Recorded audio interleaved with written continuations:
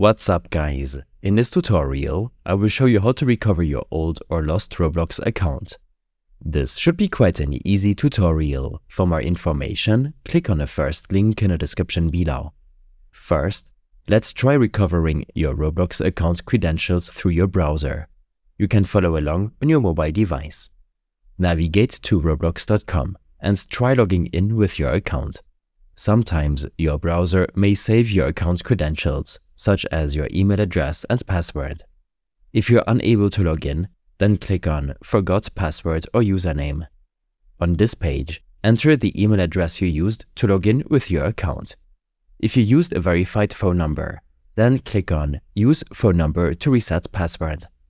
In this drop-down menu, select your country and enter the phone number. You also have to choose between resetting your password or your username. You will receive instructions on how to reset your password through your email. Next, navigate to your email inbox and proceed to follow the password reset instructions. If you don't have access to your previously used email address, or if it was never verified on your account, then it's suggested to search for any past Roblox emails in your email inboxes. For Gmail users, Search for Roblox in your emails, and you might see a new login or a verification request email from Roblox. You can find your username and used email address for your account. In case you're still unable to find your account information, then navigate to your browser settings.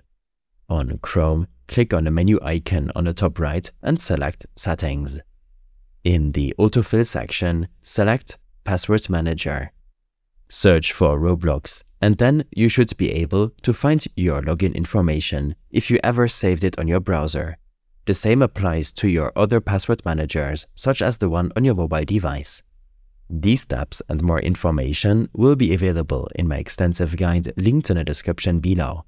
I hope this helped you out. Leave a comment if you have any questions and see you in the next one.